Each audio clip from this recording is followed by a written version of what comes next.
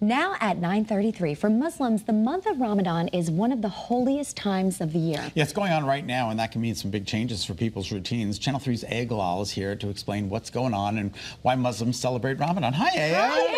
It's great to see you. Always So good to nice to see you. see You look beautiful. Thank you. As Thank you. You guys look great as well. How Thank are you? you. I'm doing great. Happy Ramadan. Happy Ramadan. Now, for those who don't know about Ramadan, it's one of those things. It's always on the calendar. Yep. Yes. And sometimes people don't really know the true meaning behind it and the traditions that surround it. So enlighten us. Yeah, so this is the most important time of year for Muslims all over the world.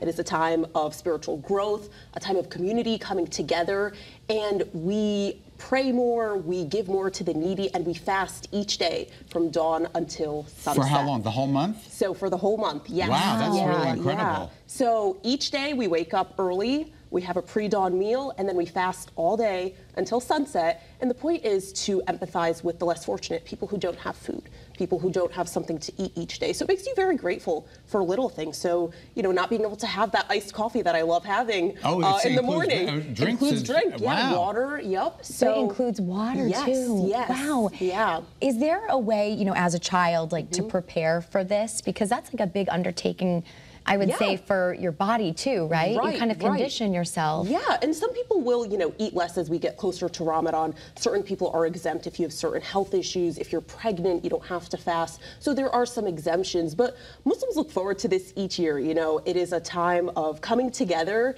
and it makes you very grateful and appreciative for the little things. You know, Yeah. I look forward to my coffee every day, and you know, during the day in Ramadan, I can't get that coffee right away. So it teaches you a lot of, you know, self-control, Mm-hmm. uh, a lot of growth, and just gratitude in general. What a great way to tap into empathy. It's like a real life Yes. living lesson. I know, uh, ca- I, I, I- me as a Catholic and a, a non-practicing Catholic, Mm-hmm. tor- towards Easter and Christmas, we tend to go to church and do. It Yes. becomes a little bit more spiritual during those times of holidays. Is it the same for Muslims? Yes, it is. Yes, so we will go to the mosque more. There are more prayers uh, during the evening time at the mosque. So a big part of Ramadan is coming together with the community. So there'll, there will be big dinners um, at the mosque where we break our fast Oh, together. wow. So that's a, a very nice aspect. You know, on the weekends, families will get together, have dinner parties, things like that. You get to see people you haven't seen in a while. So it's about coming together and also feeding those who don't have something to eat, making Mm-hmm. sure you donate. Um, if not your time, then your money. You know, And coming is, together and is it sunset at the time of the, when you break the fast? Yes, So you know the specific time yes, of sunset. Yeah, so right now it's like around 6:55.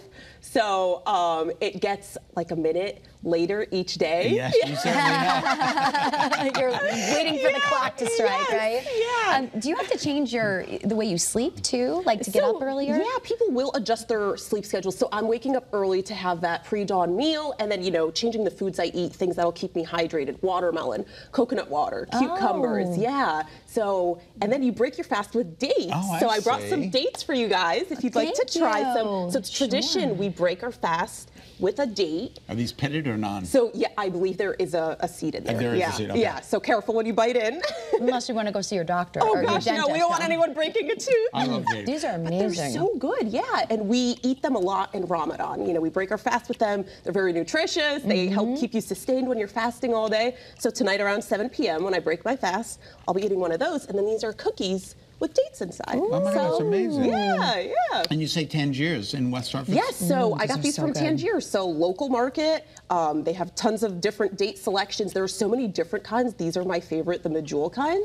So yeah, it's a, a fun time of year. You, you give food to your friends and family. Everyone shares uh, in the Ramadan spirit together. I love it. You're sharing the Ramadan spirit with us right now. yeah. and I do have a quick question. In Connecticut, is Ramadan celebrated differently here compared to some other parts of the country? Yeah, I would say it is a little different in like Muslim majority countries where, you know, countries will basically change schedules to revolve around uh, Ramadan. So I know in Egypt, my family's originally from Egypt, you know, during the day there's much less activity as people are fasting. And then during the night, you know, the streets come alive. wow. Restaurants will do like uh, buffet style meals. That's wonderful. So, you know, everyone can break Wow. their, because everyone's eating at the same time at Yeah. sundown. So, so it's really cool. And in different parts of the world, people will celebrate differently. So it's, it's I think fun. it's incredible. You know, I haven't had a date in years, so I really Oh, appreciate look this. at that. Well, please take some more. You want to go on another date? I might go on another date in about five minutes. you have tons of dates right here, Scott. Thank you, Ayah. Thank you so much, Of Ayah. course. Thank you guys. Also, by the way, Congratulations. Yeah, let's see some you. photos. I know you have some photos of your. Oh my Oh my gosh, Anne. Stunning. And there's your husband. Yup. How is married life treating you? It's great so far. Very good. Yeah, this is a traditional um, like musical team in Egyptian culture. The bride and groom come out with a musical team, Oh, a zeffa team, what we call it. So yeah, and that's my husband. Oh, Yeah. Congratulations. Congratulations. I love how you interwove the tradition. You Yes, know, it's so yeah, beautiful. Oh my word. From the veil, everything. Oh, so Thank you. Thank to you see guys. we Yeah, appreciate you coming on and Thank you for educating us. on. Yes. Come yes. back, come back, come Got back. Got more dates for you. Happy Ramadan. Thank you guys so much. All right, Marcy, over to you.